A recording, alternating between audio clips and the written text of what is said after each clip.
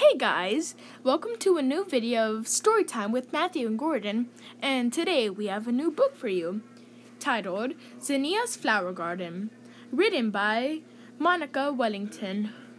Are you guys ready to begin? Let's get started. Spring has arrived. Zinnia is getting her garden ready for planting. She digs up the soil and turns it over with her shovel. She takes out stones and rakes the dirt smooth. The warm sun feels good as she works. Zinnia carefully plants many kinds of flower seeds in rows. She covers the seeds with dirt and pats it all down very gently. She sprinkles the ground with water. Zinnia waits for the seeds to sprout. The seeds need the sun to shine, the rain to fall, and many days to pass. It's hard to wait so long for seeds to grow. Every day, Zinnia checks her garden to see if anything has happened. Look! The first seedling is poking its way through the dirt. Now Zinnia's garden is full of green sprouts growing towards the sun. Little stems grow taller, little leaves get bigger, and little roots burrow deeper into the earth. Zinnia takes care of her garden every day. When the sun is hot and the soil is dry, she waters her thirsty plants. She pulls up pesky weeds to try to crowd out her plants. She inspects them for greedy bugs. She measures how tall her strong and healthy plants are growing. Every day they get bigger and bigger.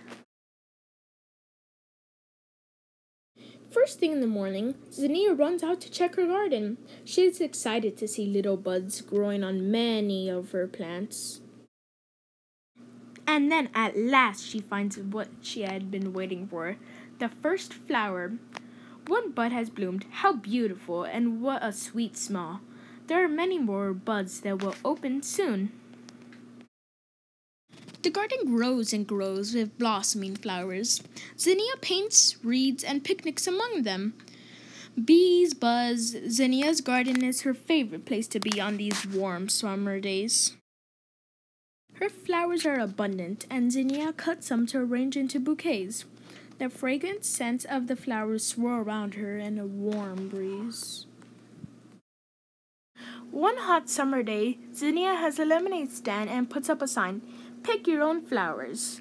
Customers come and gather bunches of flowers and drop money in her jar. In the autumn, as it gets colder, Zinnia picks the last flowers from her garden. She finds ripe seeds that have formed. They are ready to be collected.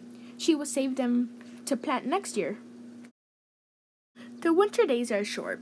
The sun is dim and the ground is covered with snow, but Zinnia is already planning next year's garden.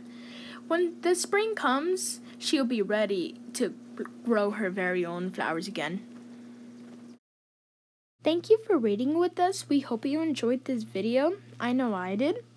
And if you liked the book, please like and subscribe down below, and we'll be sure to post more. And remember, anytime is story time with Matthew and Gordon.